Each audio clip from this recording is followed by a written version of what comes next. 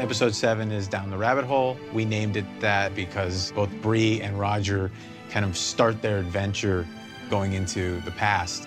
This is one of our few episodes that Jamie and Claire are not in, and actually I think Roger and Brianna carry this episode, and actually Sophie and Richard do such a tremendous job. You can really see them starting to kind of come into their own. She's a child, for God's sake! It's been a tremendous journey for both of them. This was one of our favorite episodes of this season to work on because we knew we wanted to bring Tobias Menzies back. And a fan favorite, because you know how many fans love Frank. Well, you know, we get, all, we get all the tweets and the Instagrams and the emails. They always say Frank, Frank, Frank, Frank, Frank. For me, the most interesting part about this um, was when we discussed the parallels actually between Frank and Claire Your mother and I are getting a divorce. and Laoghaire and Jamie. The truth is that Jamie Fraser has never loved you. Frank and Laoghaire actually both have loved people but not actually been loved back. The parallel of that and trying to show that in the story to me is such an interesting level. She never meant to hurt anyone.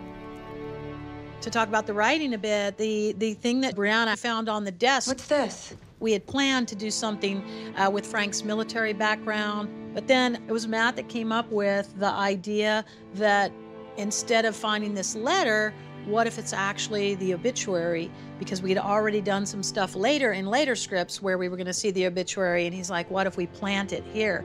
And I thought that was a really great idea. But it is another one of those situations where we're like, oh my God, this is such a cool idea, but what are we going to screw up by using this? Well- like, Well, we what- always say that. I mean, you know, exactly. What of Diana's books are we, We going to screw up by Richard. doing that? It really did work out and kind of for us, yeah, provided the impetus for Frank to go back and was such a cool little Yeah. um, Nugget. touch, nugget, Easter egg. There we go. For me, the most exciting thing, I think, was exploring what happened on the night of Frank's death. Everyone assumes that he was killed in the car accident right after he left Claire, but what if he actually went to see Brianna? Daddy, what are you doing here? Sweetheart, I need to talk to you. Hop in. She ends up not saying anything, including not saying I love you Yeah. to him when he says I love you as she gets out of the car. And then, of course, then we reveal that that's when he was killed after that.